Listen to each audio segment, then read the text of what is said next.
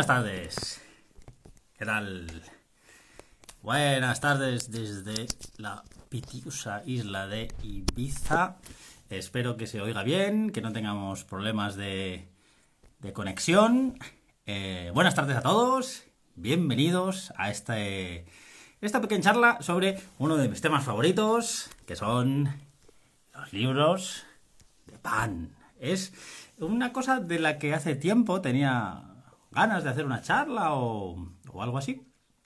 Y eh, a través de la Erus, la editorial de mi, primer libro, Pan Casero, eh, llegó la, esta idea de, dentro de un, programa que tienen del el, el foro en casa, yo creo, presenté mi segundo libro eh, con Alma Obregón en Barcelona, en uno de esos foros que tienen, y entonces era una ocasión muy buena para hacer esta, esta charla. Con lo cual, vamos a ver, vamos a meternos ya entre páginas, una cosa fascinante. Eh, si os gustan los libros, estáis en el sitio adecuado. Si os gusta el pan, estáis en el sitio adecuado. Pero si os gustan los libros y el pan, creo que puede ser una cosa muy bonita.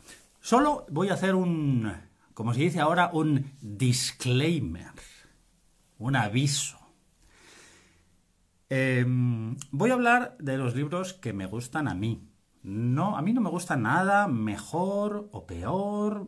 Esto me da igual. Voy a hablar de libros que me gustan, que considero interesantes para contároslo a vosotros, que a mí me han inspirado y buenas pistas, algunos más conocidos, algunos menos conocidos. Mm, voy a hablar de libros tanto en español como en otros idiomas, más cercanos, más lejanos. Hasta donde sé, voy a intentar decir los libros traducidos, los títulos traducidos, pero no sé, en muchos casos, ni dónde se pueden comprar, quiero decir, más allá que en las librerías, quiero decir, eh, ni, no lo sé, ¿de acuerdo? Entonces, eso es un poco las reglas del juego. Lo que voy a intentar, que estoy viendo aquí los comentarios, eh, como habrá eh, algún nombre raro, por ejemplo, uno de los libros de los que hablaré que me fascina es este libro. Y este libro es de un paisano que tiene un nombre un poco extraño. Asburn, Bjorn.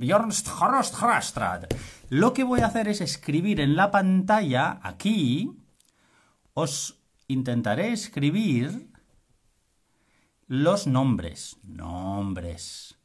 Entonces, sí que os voy a pedir un poco de contención con los comentarios. Porque si yo pongo el nombre de Osmund Bjornstad, que es un poco difícil, y hay 14.000 comentarios, el nombre Osmund Bjornstad se irá. Entonces, mi esfuerzo para que lo veáis y lo leáis no servirá para nada. Entonces os pido contención en los comentarios.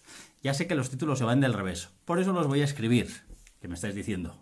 ¿De acuerdo? Entonces, es importante, voy a escribirlos, sobre todo los nombres raros, los escribiré, pero con tensión con los eh, comentarios. Dice Jesús, Jesús Machi, un buen amigo paradero valenciano, dice, no solo es que sea raro, es que se ve del revés, por eso los escribiré. Entonces, vamos manos a la obra. Vamos a empezar. Como os digo, no, no, me gusta nunca hablar de mejor ni peor. No hay mejores panes ni mejores panaderos. ¿no? Eso es un poco tontería. Voy a hablar de cosas que a mí me parecen interesantes. Y voy a empezar con mi libro favorito de pan. Este libro lo tengo hace 15 años, desde que empecé a hacer pan, y nunca me cansa. Es el libro que más me ha inspirado. Es Hecho a mano. Hecho a mano es de un autor que se llama Dan Lepard. Lo voy a escribir aquí. Dan Lepard. Hecho a mano. Es una traducción hecho a mano. Pon, ahí lo tenéis. Es una traducción del inglés de Handmade Love. A mí me han pasado cosas muy buenas en la vida. Yo soy la persona con más suerte que conozco. Yo tuve la suerte de traducir mi libro favorito, lo cual es algo único. Yo hice un máster en traducción, he traducido, yo me especialicé en traducir películas. Yo tengo un máster en traducción audiovisual, en el doblaje y la traducción, pero he traducido algunos libros. Entonces, curiosamente, mi primer libro traduje mi libro favorito, eh, La vida no es bonita. Entonces, ¿qué tiene hecho a mano que no tengan los demás libros? Para mí, para mí, hecho a mano lo que tiene es que es un libro de amor que es lo más bonito como humanos. Entonces, este libro de amor que escribió Dan Lepard va de pan, pero como podría ir de las bicicletas en la China comunista, Casualmente es un libro que va de pan. Entonces, no solo tiene un gran contenido técnico, te explica recetas de todo tipo, sin fermentar, en sartén, con harina de garbanzos, bollería, brioche, panes de centeno, te explica todo, un abanico muy grande, pero lo mejor de todo es, uno, el amor que tiene Dan Lepar.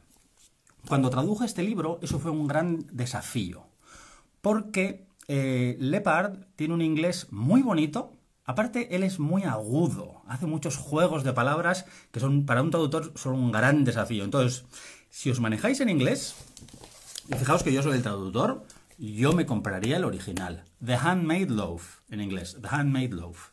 Si no os manejáis en inglés, compraos hecho a mano, está traducido de todo corazón, en contacto con el autor. Entonces, ¿qué tiene hecho a mano? Sorpresa. Dan Lepard, antes de ser panadero, fue fotógrafo, fue actor de teatro. Dan Lepard, seguidle en Instagram o en redes sociales, tiene una vida fascinante. Y fue fotógrafo. Estuvo en Milán y trabajó para Vogue, para las revistas de moda, en los locos años 80, en esa marabunta de, de cosas que se cocían. Entonces, tiene las fotografías más bonitas que habéis visto en vuestra vida en un libro de pan. No solo lo, que son las fotos de los panes, que están hechas sin ninguna pretensión. Fotos de pan. A mí me cansa a veces un poco la, el, maniqueísmo o, el barroquismo de muchas cosas del gastroestilismo. Muchas semillitas, muchas florcitas, y a veces se pierde la esencia. Las fotos de Lepar son honestas y sencillas. Él viajó, sobre todo este libro en un primer momento iban a, mm, iba a ser un libro sobre los panes del centro y norte de Europa. Por eso es muy de centeno. Aunque luego también hay capítulos de Italia y Francia. Pero en un momento... Entonces, él viajó a Rusia, Ucrania, Finlandia, Suecia, Dinamarca, Alemania, y allí, y esto es precioso, entrevistó a las gentes de esos lugares. Por ejemplo, en el capítulo de Ucrania tienes a las monjas menonitas que te cuenta cómo hacen sus, sus eh, pasteles con la masa sobre, la, sobre em, el, hogar y tiene capítulos de, gente que encontró allí. Yo, por ejemplo, jamás olvidaré, y no por haberlo traducido, yo hay trozos de este libro que me sé de memoria. Un, un trozo es Basili con los cerdos felices sale la foto de Basili. Sale como las monjas utilizan plumas para pincelar con huevo sus, sus panes. Este, de verdad, es un libro que no te lo acabas. Es, es, una cosa alucinante. A mí, ya os digo, hace 15 años que lo tengo y cada vez que lo abro es una fascinación. Cuando escribí mi libro más ambicioso, que es Pan de Pueblo, hecho a mano fue una de mis principales inspiraciones. Luego os hablaré de más inspiraciones, pero si no habéis visto este libro, intentad conseguirlo, de verdad. Es, para mí, es, eh, no, tiene, no tiene igual, sobre todo por esa capacidad de inspirar que tiene Dan Lepar. Vamos más allá. Libros que supusieron un antes y un después. En España, hablando de pan para gente de casa, hay que hablar de este señor. Xavi Varela. Este libro eh, tiene 11 años ya. ha pasado tiempo. Eh, te puede parecer que has visto otros libros. Ya, pero pensad, en el 2009, ¿quién hacía libros de pan en casa en España? No había apenas. Tejero había hecho alguna cosa, pero Tejero estaba más en el, en el ambiente mm, eh, profesional. Entonces, cuando un panadero, Xavier Barriga, que tiene sus panaderías, Turris en Barcelona, panaderías fantásticas, se para y empieza a hacer una cosa que fue una revolución y es comunicar el pan. Para mí el valor de este libro está mucho más allá de lo que dice en sus páginas, que Xavier Barriga es un gran panadero y está, está muy completo, la verdad, ¿eh? Podéis decir, vale, ahora hay otros libros.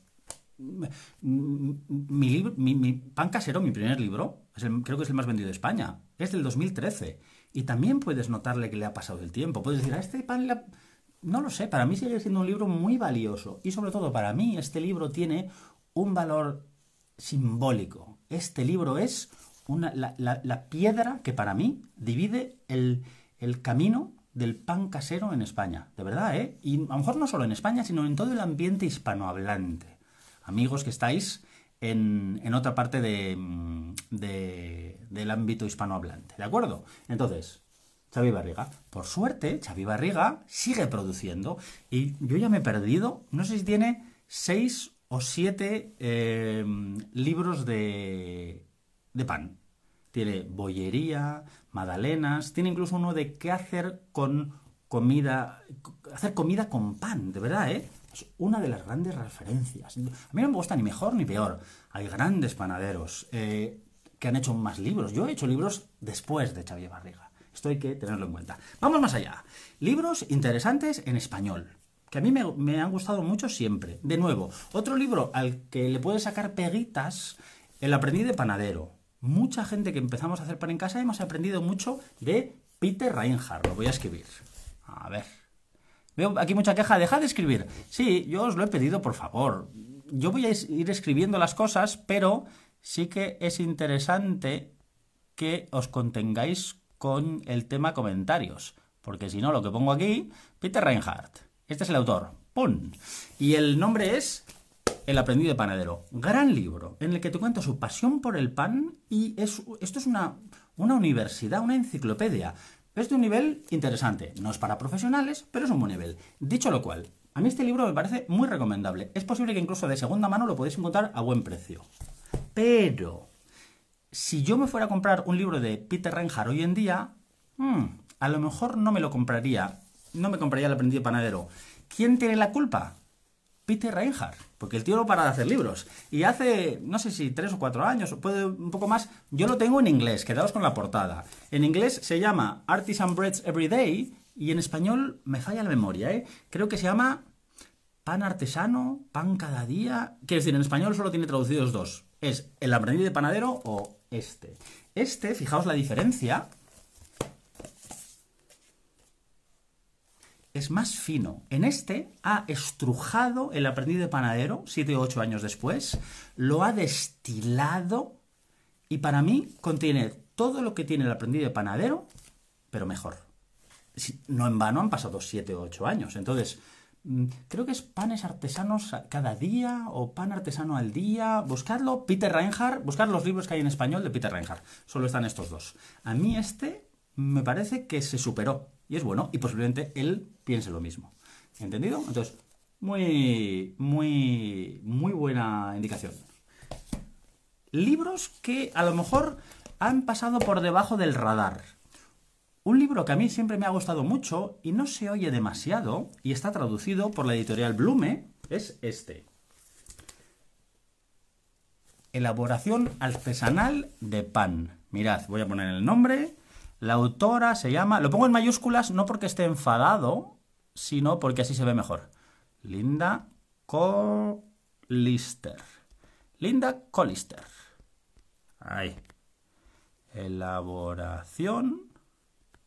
Elaboración artesanal de pan. Muy buen libro. Este libro me están diciendo aquí que el de Peter Reinhardt es pan artesano. Eso es lo que quería decir. Este que os digo que es más fino y como destilado. Me gusta mucho. Este libro, a mí me gusta mucho. Yo, sobre todo, los que me sigáis, me habéis oído decirlo más de una vez, posiblemente.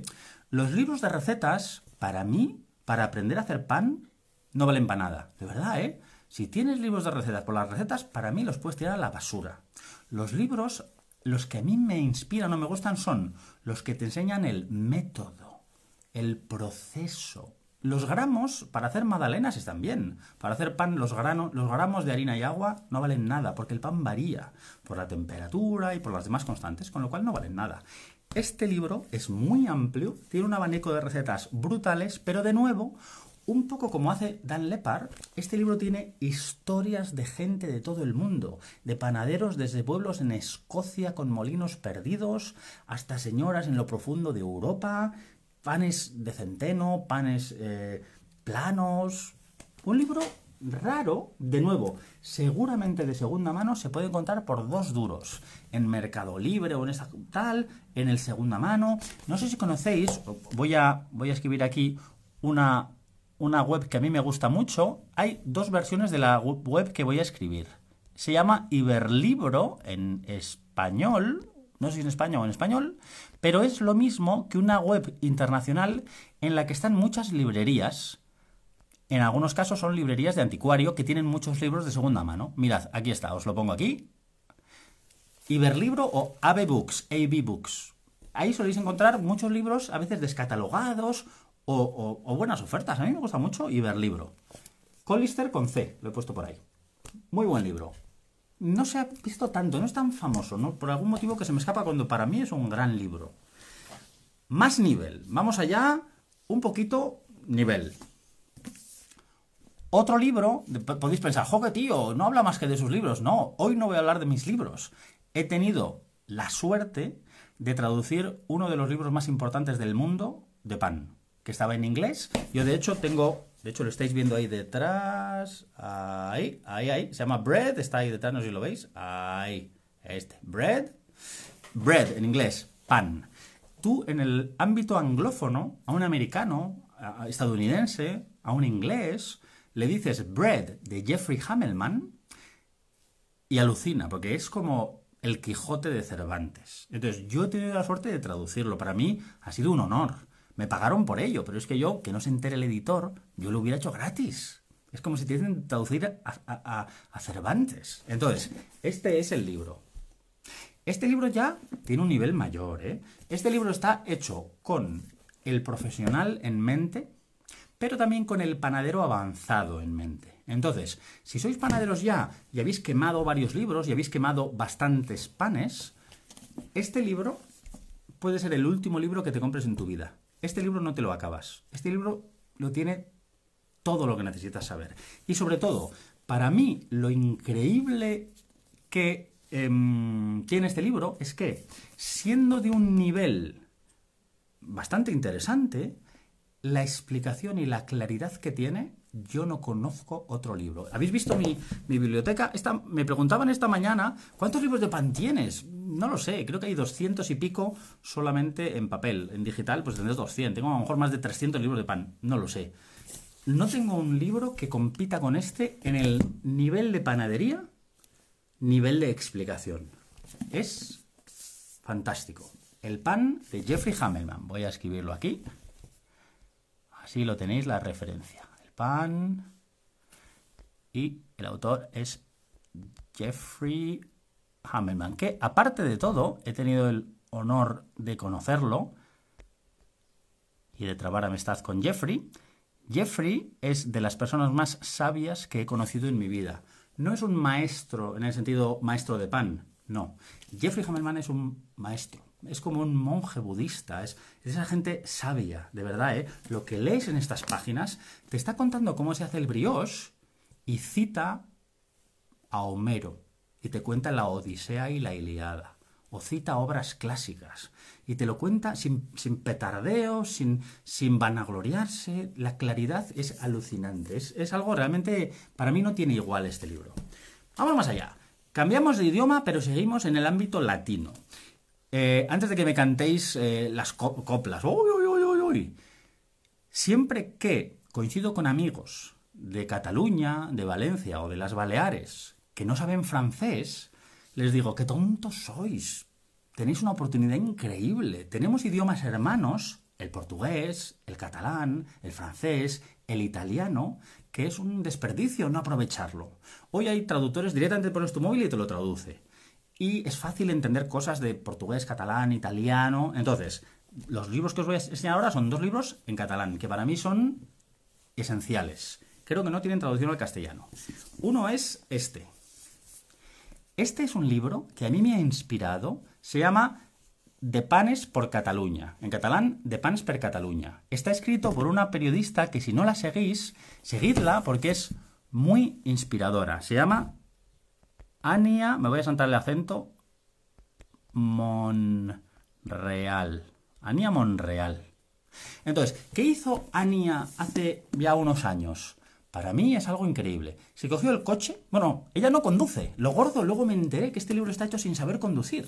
Y se recorrió toda Cataluña, de pueblo en pueblo, entrevistando a los panaderos. Y en un libro de un estilo para mí único, lo que hace es, y para mí esto fue revelador, a mí me inspiró mucho este libro cuando escribí Pan de Pueblo, ella pone el micro, pero no juzga.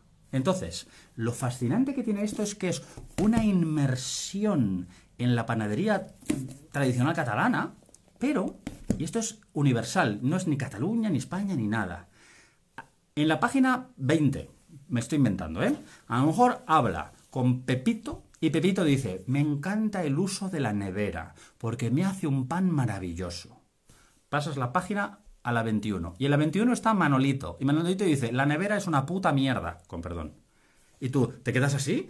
Pero si me... Claro, porque la periodista no es la que habla. La periodista está diciendo qué dicen los panaderos. Y para mí eso es un cambio de actitud brutal. ¿Por qué? Porque yo he leído muchos libros de panadería, seguro que conocéis, eh, o de gastronomía, o en general libros de historia, que tienen una brocha muy gorda. Y te dicen de un plumazo, el pan aquí es así. Y tú, ¿cómo que el pan aquí es así? Será en esa panadería. Entonces, lo que hace Ania, por fin, un periodista, una periodista, desmonta ese, ese, discurso de el pan en Andalucía es así, el pan en Cataluña es así, el pan en Venezuela es así. No, hay muchas maneras de hacer pan de Pans per Cataluña, de Ania Monreal, a mí me alucina porque te abre los ojos. Cuando estás intentando aprender algo de panadería, una de las cosas que te ciega a veces es que crees que hay una verdad. Porque se la has oído a un panadero o porque la has leído en un libro. Entonces, la idea es, esto es un abreojos, me encanta este libro. Sé que es una edición muy pequeña, no sé qué disponibilidad tendrá. Si por alguna biblioteca o cosas así, de Panes por Cataluña. Y, sin dejar el mismo idioma, os voy a enseñar uno de los libros más alucinantes que he visto en mi vida. Yo creo que está disponible todavía. Y lo hay en dos versiones. No es el mismo libro, pero parte del contenido se comparte. Y es de un psicólogo que con la crisis se convirtió en panadero y se llama Tomeu Arbona. También está en redes sociales, tenéis que seguirlo porque es una inspiración. Tomeu Arbona, viendo que su consulta se, vaciaba de clientela, dijo, nada, e siguió su pasión, que es la repostería tradicional de la isla de Mallorca. Él es mallorquín. Entonces, montó una pastelería, una repostería, que se llama el Fornet de la Soca. En catalán es el horno, la soca es el tronco de un árbol. Por un cuento, a él le gustan mucho los cuentos. Esto viene de un cuento. Entonces, aquí está el fornet de la soca. Os lo voy a poner aquí. Entonces, tiene dos libros. Tiene otro libro de cocina, pero de este no voy a hablar. Fornet de la soca. Y el autor, os lo pongo aquí. Tomeu Arbona. Ahí está. Entonces, tiene dos libros. Uno en pequeño, que se llama Filosofía y Receptario, y otro en grande, con fotos alucinantes. Tomeo Arbona se ha estudiado los recetarios tradicionales de los conventos, de las casas señoriales, de, las casas de familias de campo de toda Mallorca, y lo ha recogido dándonos, acercándonos Cosas que los mallorquines no conocen, porque se han perdido en muchas cosas, y cosas que está recuperando en una auténtica acción de arqueología repostera en su pastelería en Palma, que se llama El Fornet de la Soca. Este otro se llama Repostería Tradicional de Mallorca. Son libros que se, escapan de las categorías. Son libros que, al estar en, al venir de un sitio muy pequeño, y ser de un, de, un, de un, idioma más minoritario, a veces no salen en las noticias, pero son auténticas joyas. Y si habláis español, que me estáis escuchando, habláis español, se lee muy fácil. Hay algún término, no porque está escrito en catalán, ¿eh? hay términos en mallorquín, en, cosas de, de, mallorquín que incluso a alguien de Cataluña le costaría. ¿De acuerdo? Entonces, gran libro para buscar. En versión pequeña, filosofía y recetario, Tomé Barbona, y en versión grande, repostería tradicional de Mallorca. Realmente brutal. Vamos más allá. Voy a quitar estos libros que ya tengo aquí bastante tonelaje. Veo que estáis enzarzados ahí con los comentarios. Eh, yo estoy poniendo los comentarios, pero de verdad, no, no os ensarcéis, no sé. Si alguien quiere decir cosas, pues no lo escuchéis. Entonces, vamos más allá. Y ahora, atención, voy a hablar de una de las personas que más admiro en el mundo del pan, y es una mujer. Y no os voy a hablar de un libro, os voy a hablar de la obra de una mujer. Es una francesa, tiene un nombre raro, lo voy a poner aquí. Aquí. Ella se llama Mouette y se apellida Barboff. Mouette Barboff. Ahí lo tenéis. Entonces, ella hizo su doctorado en el pan tradicional en el campo en Portugal, más en concreto en el papel de la mujer en la tradición del pan rural en Portugal. Y al hilo de eso, eh, tiene cuatro libros del pan en Portugal. Quedaos con el nombre y con Portugal, y lo podéis buscar. Entonces, mirad, tiene este primero a mí me lo mandó una portuguesa, Manuela, muy maja. Hicimos un intercambio. Yo le mandé uno de pan tradicional español y ella me mandó este. Creo que este ya es difícil de encontrar. En estas páginas que os he contado, en Iberlibro, en AB Books, lo podéis encontrar. Tal vez de segunda mano. O Pau en Portugal. Luego tiene a Tradisao do Pau en Portugal. Yo no hablo portugués, pero se lee muy fácil. Luego tiene tierra madre, tierra pan. Y por último tiene la plasmación de su estudio, O Pau das Mujeres, el pan de las mujeres. Yo los veo como una obra completa. Cualquiera que os compréis estará fenomenal. ¿Por qué? Porque vais a descubrir, sobre todo si me estáis eh, escuchando desde España, el pan del país de al lado, que es un gran desconocido. En España siempre nos pensamos que los portugueses están ahí, ay, pobres portugueses. Y tiene una tradición panadera en un país pequeño, de pocos habitantes y de poca superficie comparado con España, que es brutal. Y encima, hasta cierto punto, puede que la hayan sabido mantener mejor que nosotros. Y hay que hacer, hay que hacer una crítica. Moet Barbov recoge las tipologías de pan, pero sobre todo las tradiciones de las gentes que hacen el pan. Aquí, por ejemplo, te cuenta, pues no sé si es en, Cuaresma o en Semana Santa, solo se puede amasar con la mano izquierda. O en otras, no sé si es la portada. Aquí, mirad. En la portada de Paudas Mujeres, de Pan de las Mujeres, no sé si lo veis. Hay una mujer que está poniendo en la artesa de madera, que a lo mejor hay 20 kilos o 30 kilos de masa, mirad lo que hay, a ver si se ve. Mirad aquí. Según la tradición de campo, para que la masa fermente y se engendre, la masa solo la hacen las mujeres. Pero atención, tienen que poner la chaqueta de un varón, de un hombre, en una cosa pagana y arcaica que vete a saber si viene de los egipcios o de los sumerios. El hecho de que la masa hecha por las mujeres, una cosa femenina, tenga que tener la chaqueta de un hombre para, para inseminarse o así. Hay todo, en, los libros de Moet Barbov, rezuma esa idea de de patrimonio de la, de la cultura del pan. Al hilo de esos libros de Moet Barbov, de la misma autora, siempre lo he puesto antes, Moet Barbov, tenemos idioma hermano en francés. Moet Barbov hace ya, voy a ver de qué año es este libro, porque ya tiene unos años. A ver. Vale, pues, detrás. Es del año 2006, tiene 14 años. Se llama, en francés, panes de ayer y de hoy. Pan d'hier et d'aujourd'hui. Panes de ayer y de hoy. Pan d'hier et d'aujourd'hui de la misma autora. Este es un libro también que no todos los países lo tienen. Mm, por ejemplo, luego os hablaré de pan inglés o de pan español. Yo he escrito bastante, hay cosas eh, escritas de pan español. En pan francés hay mucho. Pero lo que hizo Moet Barbov de la misma manera fue recoger las variedades tradicionales e investigar su historia. La mano de Niza, la de la famosa foto de Picasso, que sale Picasso sentado como con dos manos que en realidad son panes, mano de Niza, o los panes eh, tradicionales, la, tabaquera de, de, Jura, un pan muy imitado hoy en, panadería contemporánea. Entonces, no solo te cuenta de la mano de un panadero y, y tiene las recetas de cómo se hacen, sino que se te cuenta las historias de eso y la antropología que hay detrás. Entonces, para mí, como os decía, lo que es la, la, receta en sí no vale nada. Lo importante muchas veces es la historia y entender ese pan. ¿Qué quiere decir ese pan? Entonces, toda la obra de Muet Barbov, que os acabo de presentar, está aquí, aquí, sus cuatro libros de pan en Portugal y su libro de pan en Francia, este acaba de ser reeditado con un nuevo formato. Eh, merecen la pena. Y aunque esté en francés, uno, tienes la receta, que la receta es fácil, puedes traducirla con el móvil. Y si te apañas un poquitín, tienes toda la historia de ese pan. De verdad merece la pena. Sobre todo, amigos que habláis catalán. Mi, pareja, eh, su idioma materno es el catalán.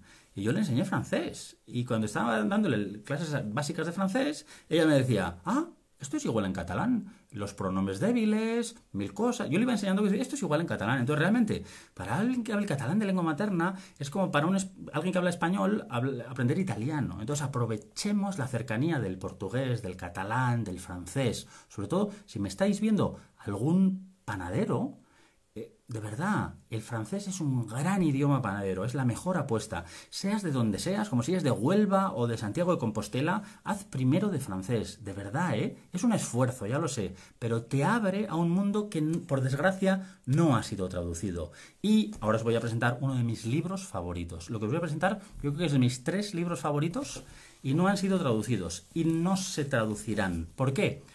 Yo, esto, eh, lo que os voy a presentar ahora, libros en francés. Este libro, yo creo que está entre mis tres libros favoritos de pan. Fijaos qué gordo es. Es imposible de traducir. Con los amigos que tradujeron el libro de Jeffrey Hammelman, es una editorial que se llama Libros con Miga, eh, editan la revista Pan, que es una revista maravillosa, han sacado varios libros. Estuvimos mirando para traducir esto, hablando, pero es que estos son, atención, 1200 páginas en papel Biblia, y aquí está un compendio del saber universal del pan. Atención, de verdad, estudiad primero de francés. Esto, de hecho, sin que sepáis francés, esto se puede coger. ¿Por qué? Porque no es una novela, es un diccionario. En francés, Dictionnaire universel du pain. El diccionario universal del pan. Voy a poner el nombre. Este libro se sale de todas las categorías. Es de Jean Philippe. Jean-Philippe. no, he saltado una L. Jean-Philippe de Tonac. Y el título es Dictionnaire universel. Dictionnaire. Dictionnaire universel. Entonces, este libro no lo ha escrito Jean-Philippe de Tonac porque no hay una sola persona en el mundo que pudiera escribir esto. Es una enciclopedia en el sentido de de la A a la Z. Entonces, tú coges la, abres así. Vamos a hacer la prueba. No está preparado esto, ¿eh? voy a hacer así. Aquí, a ver dónde he caído. Qué fuerte. Y de verdad que no está preparado, ¿eh? País Vasco, de donde soy yo. Qué bueno. Entonces, te cuenta los panes del País Vasco. Vamos a seguir viajando. Haces así. Vamos a ver aquí. De verdad que no está preparado, ¿eh? La U y la V. Entonces te cuenta UHT. ¿Qué es el UHT? Pues el ultraprocesado de la, de la leche. Te cuenta el valor Boulanger. Te cuenta en la V. ¿Qué hay? Valor energético del pan. Las variedades de trigo. Entonces, te puedes ir a la Y de Yemen y te cuenta cómo es el pan de Yemen, o te puedes ir a la A de alfa amilasa y te cuenta de sentido técnico todo el tema de Entonces, para escribir este libro, Jean-Philippe de Tonnac contó con toda una gama de expertos mundiales. Por ejemplo, fijaos qué curioso. Aquí hay una receta de pan español. ¿Quién la escribió? Xavier Barriga. Hay una receta de pan inglés. ¿Quién la escribió? Dan Lepard. Hay artículos de pan portugués. ¿Quién le ayudó? Moet Barbov. Contó con todos los especialistas de cada materia, lo cual hace que esto es, que es abrumador. Es un libro muy francés. De hecho, una de las razones por las que no se puede traducir es porque hay, hay, entradas muy, muy, muy francesas. Entonces tendrías que no solo traducir 1200 páginas, sino que adaptarlas. Hay desde temas, em, el pan en el judaísmo, o temas, yo qué sé, todo, Alsacia, cualquier cosa, o sea, cualquier, cualquier, el pan en Malta, molinería, las piedras del molino, eh, todo, la teonización del pan, cualquier cosa del universo pan, de verdad. Un libro que no te acabas. Yo, por ejemplo, una temporada que cogía el metro, eh, este era el libro del metro. Porque como tienes esos viajecitos de 15-20 minutos, te da para un capitulín. De verdad, este libro no, es un libro inagotable. Acordaos del nombre que os he escrito, Jean-Philippe de Tonnac. Ese autor me parece una inspiración total. También está en redes sociales, podéis seguirlos. Y ahora os voy a presentar un libro que a mí me interesa mucho porque aunque está escrito en francés, lo ha hecho Jean-Philippe de Tonnac con una comisaria de arte y es visual, entonces te da igual en el idioma. Y se llama Amigo íntimo. Os lo voy a poner aquí en francés. L'ami intime. Ahí. Entonces, ¿qué es l'ami intime. El amigo íntimo es el, es el pan. ¿Qué quiere decir eso? L'ami intime es un recorrido por el arte, la, plasmación del pan en el arte. Mirad, poner así, ahí. Entonces tienes, está planteado, es una exposición. Entonces, como si fueran las galerías de una exposición, con cuadros, desde cuadros que conocéis como bodegones hasta eh, Picassos, eh, fotos de, fotoperiodismo del siglo XX, y está esta exposición, por decirlo así, donde el pan es el protagonista, es el amigo íntimo, está dividido en temas. Desde el, pan que viene de la tierra, el pan de los conflictos, que habla de la guerra y las hambrunas, el pan y la, el pan y la trascendencia, que habla de la espiritualidad del pan. Entonces vas pasando de, fijaos qué maravilla, vas pasando de, galería en galería. Fijaos, por ejemplo, te encuentras un manet. Aquí tenemos un manet y al lado una fotografía del siglo XX para que veas un poco la... Es, es un libro, te tiene que interesar el arte, pero de verdad es un libro inagotable, de, de una belleza. Mirad, estas fotografías esta fotografía a Xavier Barriga. Xavier Barriga en su perfil tuvo una temporada, no sé si era esta, una muy muy parecida. Son, es inagotable. Y te va contando la historieta, pero solamente del aspecto visual es, un libro... Mirad, casualmente, fijaos, no, está preparado, ¿eh? Mirad, ahí. La foto de Picasso con el pan que os acabo de enseñar en otro libro, que es Las manos de Niza. Es una foto muy famosa, ¿de acuerdo? Y aquí hay un cuadro del propio Pablo Picasso, en el que hay pan. Este libro, de verdad, La Mi Intime, es del autor que acabo de poner antes, que se llama Jean-Philippe de Tonac. Lo tenéis en los comentarios. Más de Jean-Philippe de Tonac. Es que Jean-Philippe de Tonac, de verdad, que no te la acabas. Para los que os manejáis un poco en francés. Un libro raro que no se traducirá. Estuve mirando con Jean-Philippe de Tonac intentando hablar con editores, pero es un libro, es su primera novela. No sé cuántos libros ha escrito Jean-Philippe de Tonac y es, tras a lo mejor 8, 10, 12 libros, ha escrito una novela, estuvo la Universidad de Jerusalén, estuvo estudiando tres años todo lo que hay de evidencia científica histórica de la última cena de Jesucristo. Todo lo que hay escrito en el Nuevo Testamento, todos los documentos, todo lo que se sabe, los lugares, las costumbres, para investigar cómo fue el pan de la última cena pero eh, en un estudio universitario, quiero decir, de un artículo científico en publicaciones científicas, intentaron dirimir quién hizo el pan de la última cena, cómo fue el pan de la última cena, qué materiales, qué harinas, y de eso, inesperadamente, Jean-Philippe de Tonnac ha hecho una novela. Es de las novelas más deliciosas que me he leído en mi vida. Se llama, aquí os lo voy a poner, Ácimo, porque sabéis que el pan de la última cena era un panácimo, porque era la pasta, la Pascua judía. Ahí, Jean, os pongo Jean, os pongo JP, Jean-Philippe y de Tonnac. Entonces, es una novelita de 140 páginas que te la lees de la sentada y degustas cada palabra como un buen vino. De verdad que ácimo.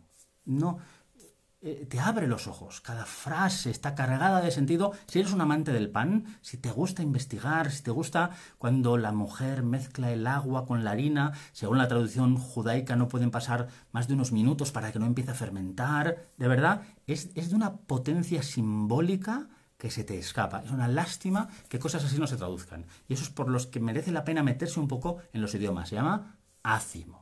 La novela que escribió Jean-Philippe Tonac tras tres años de investigación de la Universidad de Jerusalén.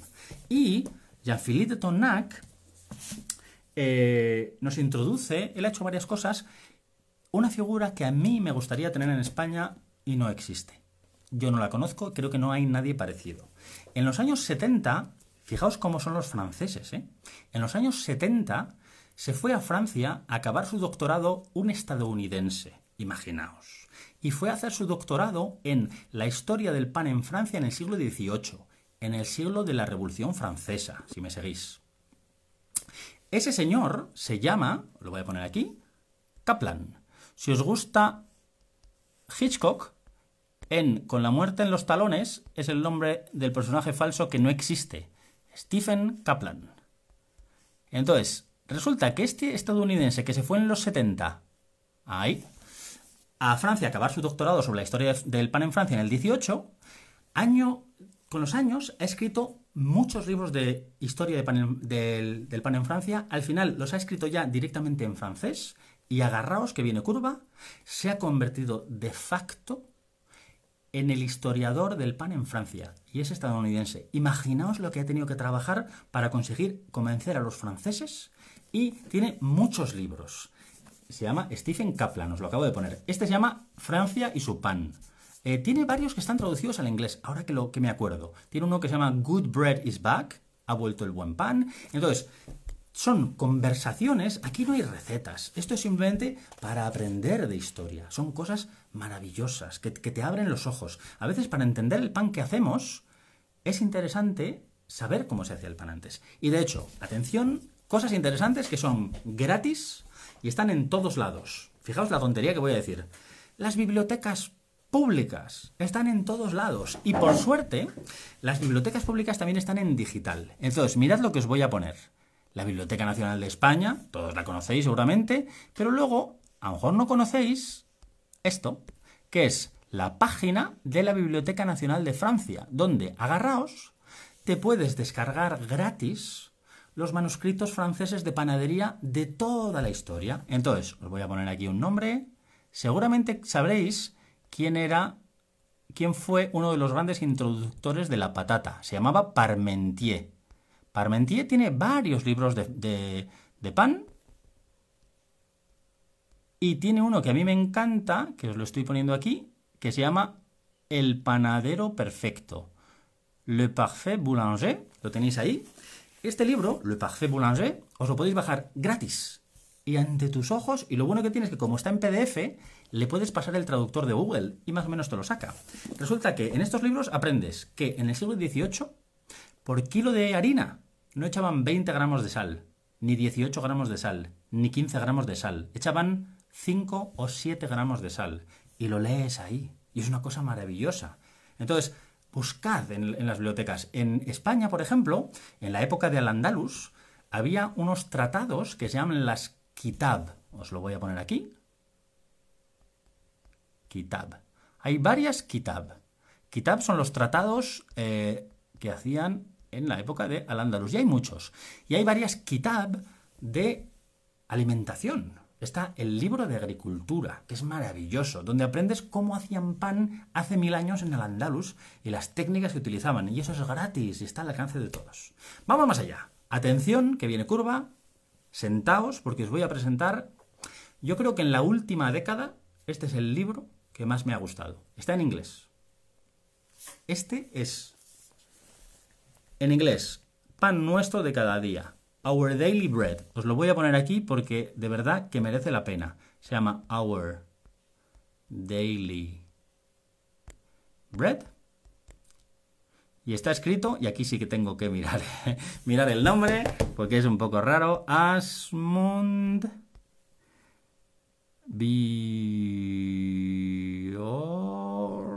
Bjornstad. Este paisano es catedrático de genética. Sabe todo. Es doctor de genética, sabe todo de la genética de los cereales. Entonces, este libro para mí tendría que ser lo primero que estudiaran todos los estudiantes de panadería en primero de panadería, porque te explica técnicamente todos los cereales.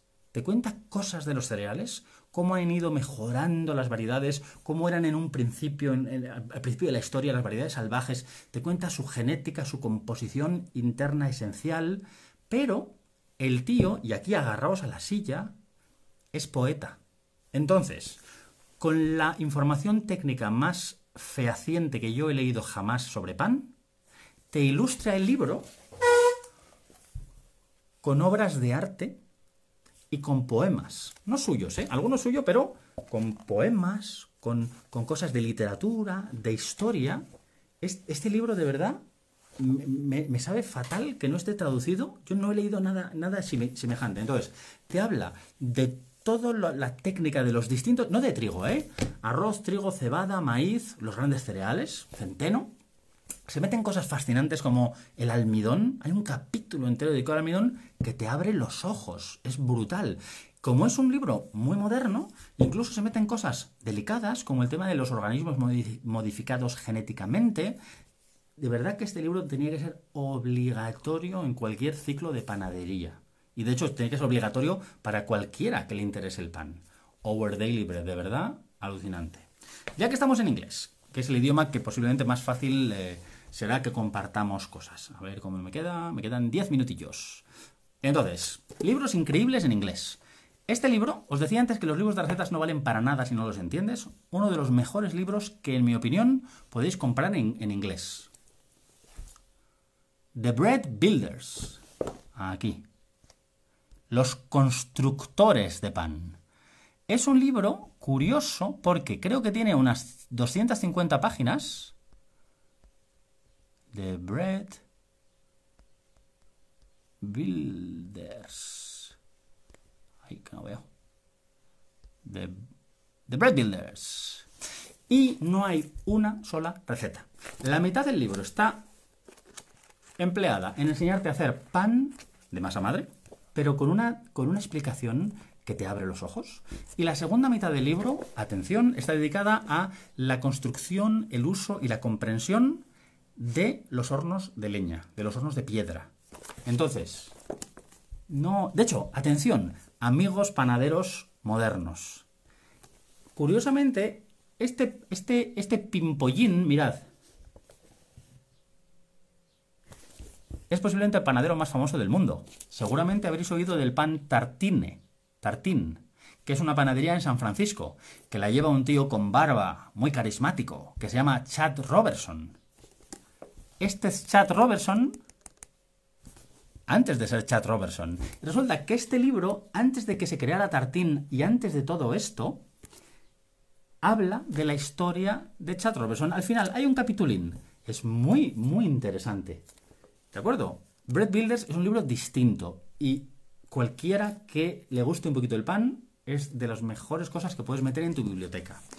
Más libros distintos. ¡Viva Rusia! Camarada Robin Food. Más libros diferentes. Un libro extraño que ganó el Premio Nacional de eh, Gastronomía, no sé si fue en el 74 o 75, en el Reino Unido. Y es English Bread. Os voy a poner aquí English Bread de una mujer que compite en, carisma con Julia Child, con Nigella Lawson, con estas mujeres bestiales de la gastronomía, que se llamaba Elizabeth Davis, que tiene varios libros de comida.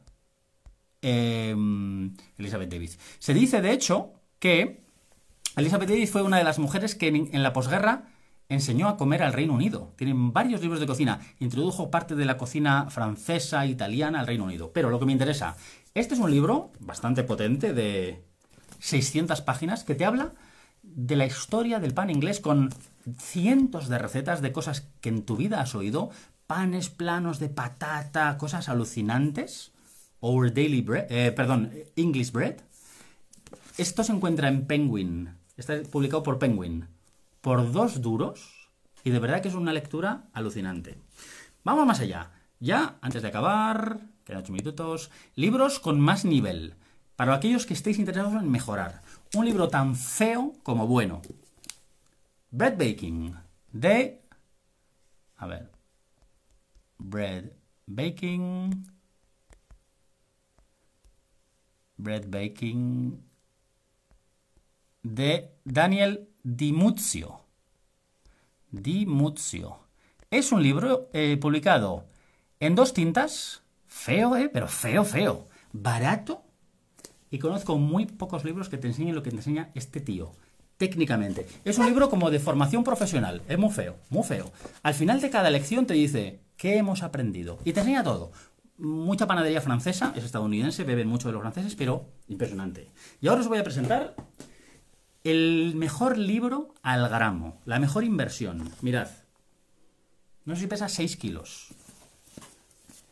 Advanced Bread and Pastry. Posiblemente la mejor escuela de em, panadería del continente americano se encuentra en San Francisco y es el San Francisco Baking Institute. Y este, os pongo aquí el nombre, Michel Sois, es su director. Este libro trata la panadería, la bollería, la pastelería y la repostería. Y no sé si vale 50 o 60 euros.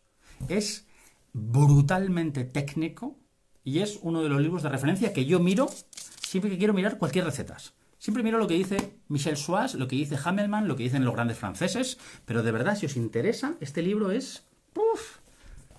Vamos más allá. Antes, ya para acabar, alguien preguntaba por libros en alemán. Ya sé que el alemán es un idioma que a lo mejor no es lo más común, pero me preguntaban por ahí y yo os lo voy a contar. Cosas que no están traducidas. Y aquí nos metemos en una cosa curiosa y es, cualquier libro feo y cutre de formación profesional alemana. Esto, fijaos, es un libro de formación profesional. Es horroroso por dentro. Lo que, fijaos, ¿eh? Horror, unas tablas. Es como de los años 70. La información técnica. No, esto nos vale 28 euros. Cualquier eh, libro de formación profesional alemana, me da igual este que otro, ¿eh? Este es un de Trauner, la editorial Trauner, pero es que me da igual. Impresionante. Cosas que, que encuentras para los que os manejáis en alemán. Esto no sé vale 7 euros.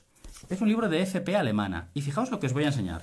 Es un libro de matemática panadera. ¿Qué dices? ¿Mm? Entonces, empieza desde muy sencillo. Hans tiene 80 kilos de harina. Quiere meter no sé qué. Hasta cosas de porcentaje panadero, cosas de escandallos. Brutal. son las pruebas de, las, escuelas de panadería alemana. Entonces, si os manejáis un poquito en alemán, buscad este tipo de cuestiones. ¿Eh? Aquí pone Prüfungsaufgaben, deberes para el panadero, ejercicios para el panadero, en este caso de matemáticas. Y ya para acabar, simplemente para apelar a una de las cosas que si habéis visto más intentado hacer eh, hincapié, y es la inspiración. Hemos hablado de Hemos hablado de Barriga, hemos hablado de Reinhardt, hemos hablado de Jean-Philippe de Tonnac, hemos hablado de Moet Barbov, de gente que ha marcado un antes y un después con sus libros, que son hitos, no solo por lo que cuentan, sino porque simbolizan. Os voy a enseñar un libro rarísimo, que no vais a encontrar en ningún lado. Y es uno de mis libros favoritos una pequeña conexión. Creo que antes ha cortado, al final, en lo más interesante. Simplemente voy a dejar para que se quede aquí grabado en las, eh, en las historias. Es lo que he dicho antes, pero por algún motivo no se ha grabado. Os estaba hablando, dos minutos, de este libro, que es una cosa extraña, apelando un poco a la inspiración y más allá. Es un libro que os lo enseño, luego os dejaré escrito todos los nombres. No para que lo compréis, porque yo me lo compré en una, en una librería de una pequeña isla en el Báltico, la isla más grande que se llama Gotland, mm, en mi primer libro, a lo mejor lo conocéis, ahí está el pan de Gotland, que es un pan muy especiado y sabroso. Entonces, lo que me interesa es, hemos hablado de grandes panaderos cuyos libros han marcado un hito, un antes y un después, pero, como os decía antes, Barriga, eh, Jean-Philippe Tonac, eh, Moet pero a veces está todo mucho más cerca. Tenemos patrimonio al, alcance de la mano que se va. Entonces, cuando fui a la isla de Gotland, encontré este libro que a mí me parece tan inspirador, no solo por lo que cuenta, sino por lo que nos permite abrir. Entonces, es... En la isla de Gotland, en cada casa de campo, está la tradición de hacer unos bollos aromatizados con azafrán. Y lo chulo es que cada familia, y te salen las abuelas y las mujeres que lo hacen, los bollos se anudan de una manera. Entonces, es muy curioso cómo te enseña la foto de la abuela. Aquí tenemos, por ejemplo, la Mormor, Marmas, Bulle, los, los, los bollos de la abuela de mamá. Entonces ella los hace así, pero en otra familia Se hacen así. Entonces, fijaos qué cosa tan precisa. Los anudados de los bollos de azafrán de la isla de Gotland. Es brutal. Entonces, olvidaos de eso. Pensad, a las afueras de Lima o a las afueras de Villarrobledo. Me da igual. En todos los sitios tenemos esos tesoros que captar y que dejar escritos en papel. Entonces, si hay algún editor que me esté escuchando, o, eh, vosotros a pequeña escala os podéis juntar y sacar un PDF, grabar un, un, audio en YouTube, se pueden atrapar esos documentos de pan que son mucho más allá que el pan. Aunque si lo pensáis, el pan es mucho más que pan, es mucho más que harina y agua. Entonces, he querido, para que no se perdiera, grabar otra vez este pequeño detalle, luego os pondré los nombres, pero fijaos, si en la pequeña isla de Gotland tenemos un libro sobre los anudados de los bollos de azafrán en cada familia, ¿qué no se podrá hacer con las sopas en cada pueblo del Pirineo, eh, o con los, las migas, o con todo este patrimonio panadero? Entonces, estos han sido los libros que me han interesado enseñaros, ni mejores ni peores, pero que a mí me han abierto los ojos. Espero que queden, que queden grabados. Luego intentaré subir a, a YouTube. Eh, ha sido un placer, un honor compartir este ratito de libros y de pan, que son dos de mis temas favoritos. Entonces, hasta otra ocasión, amigos de los libros y del pan. Un abrazo muy fuerte.